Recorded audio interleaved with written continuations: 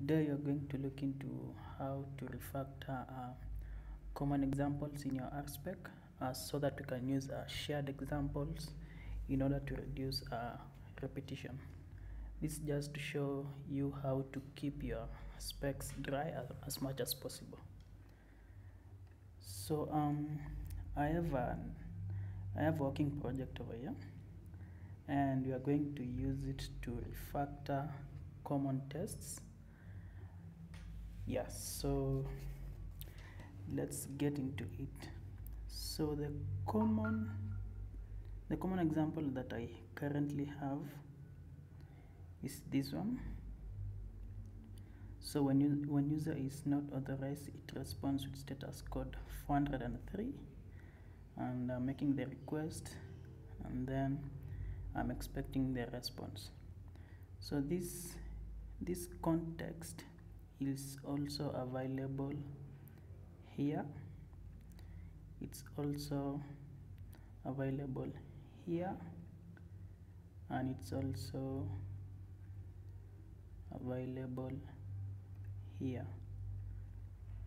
So as you can see uh, the repetition it's being it's, it's being repeated multiple times. So so you're going to dive into shared examples. So shared examples is a way to group uh, common examples into one into like a one container. And then you can simply call that container each and every time you want to use it. So I'm going to create a file named um, unauthorized. Unauthorized uh, user shared example. Dot rb and then uh, just going to add the common uh, frozen string literal true then uh, rspec dot shared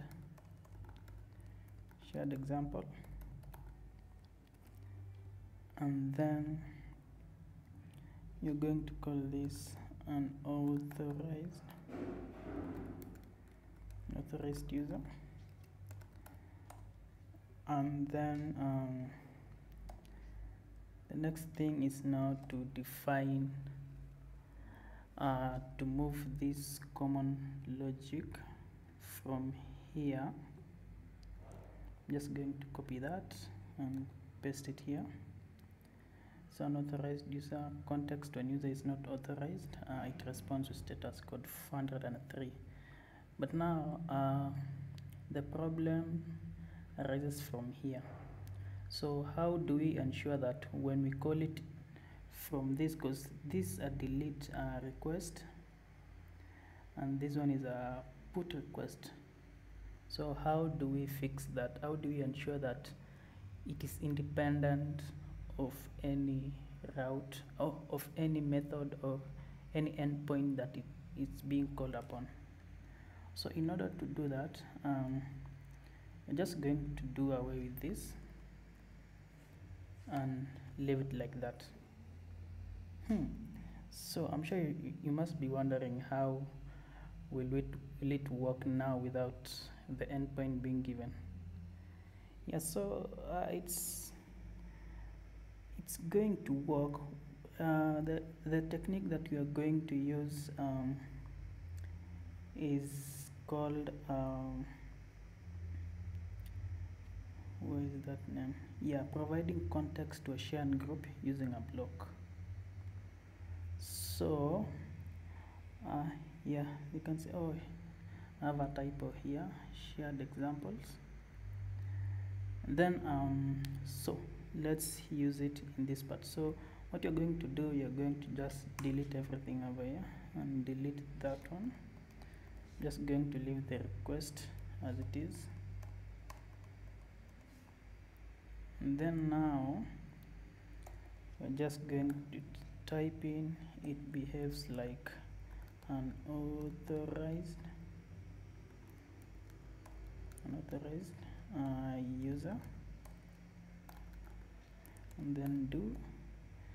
And then uh, you're just going to call uh, you're just going to call the request in a before block so that before this example is run it will first make the request and then we will be able to access the response inside the examples. Without this without this let me just delete this.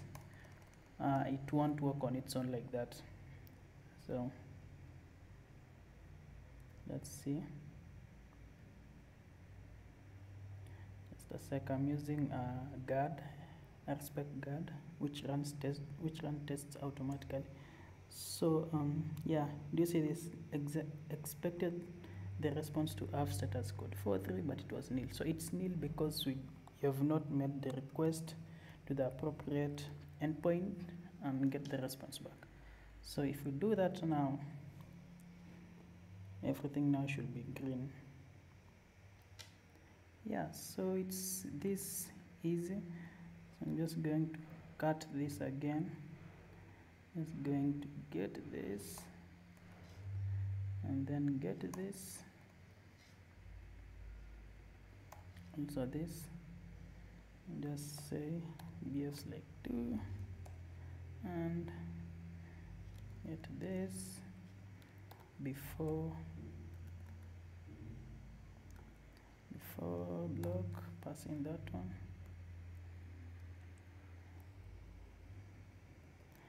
Yeah it will be headers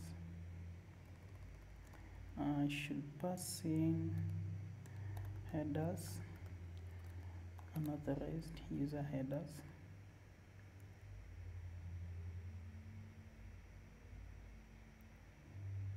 Yes green again. Uh, let's go to this. This. And that one again. It behaves like unauthorized user do. Copy that one. Pass it inside the block. Uh, this again. What? What did I do wrong? Oh we forgot before. So before open that one close it. Uh -huh. this this. That one. So um, it behaves like unauthorized user do. Copy that one. Okay uh -huh. this one again uh, this expectation uh, it behaves copy that one. Not the rest user and then before open open close that one oh. Okay. Where did I go? Wrong oh before why do I keep forgetting this before? So before close.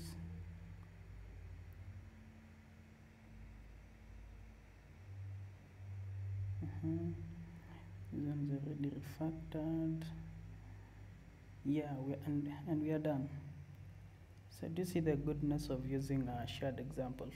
So what I the approach that I normally like to use is to just um, even if I'm duplicating most of my code I'll just uh, do that way first and then later come and refactor by doing away the common stuff.